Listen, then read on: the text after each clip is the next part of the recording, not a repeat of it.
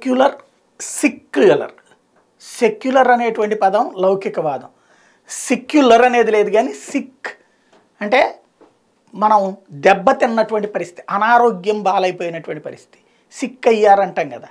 ఆ ముక్కనే ఇక్కడ మన దేశంలో ఉన్నటువంటి మేధావి వర్గానికి అలాగే మీడియా దౌర్భాగ్యానికి వెయ్యాలేమో రాయాలేమో. ఎందుకంటే హిజాబ్ వివాదం వచ్చిన తర్వాత ఒక్కసారి గుర్తుకు తెచ్చుకుంటే మన తెలుగు పత్రికల్లోనే ప్రధానమైనటువంటి దినపత్రికలు బ్యానర్ హెడ్డింగ్లు పెట్టినాయి ఫ్రంట్ పేజీ వెనక పేజీ స్టోరీలు పెట్టినాయి బాక్స్ ఐటమ్లు రాసుకొచ్చినాయి. హిజాబ్ వివాదంలో కోణాలు ఏంటి అంటే వాళ్ళు మతపరంగా వెళ్తుంటే అక్కడ ఆపేస్తున్నారు ఇక్కడ ఆపేస్తున్నారు అట్ట చేస్తున్నారు ఇట్టా చేస్తున్నారు అంటూ.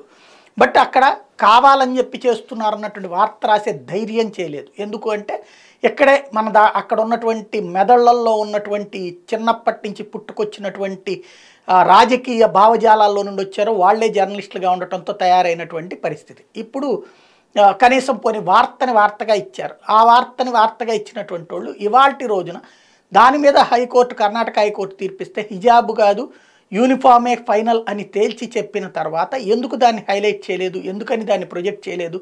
ఎందుకని ఎవరినో ప్రొటెక్ట్ చేయడానికి చూస్తారంటే ఈ దేశంలో ఉన్నటువంటి కీలకమైనటువంటి అంటే న్యాయస్థానాల తీర్పులైనా సరే మాకు నచ్చితేనే వేస్తాం లేకపోతే వెయ్యమనేటువంటి ధోరణి ఎక్కడి నుంచి వస్తుందంటే ఈ దేశంలో జర్నలిజం విలువల గురించి మాట్లాడేటువంటి ప్రధాన వైద్య సంస్థల దగ్గరే ఆ విలువలు కోల్పోతుండటం వల్ల కనబడుతున్నటువంటి విచిత్రమైనటువంటి పరిస్థితి. ప్రజలు అర్థం చేసుకుంటారా లేదా అన్నది ఎవరిష్టం వాళ్ళది.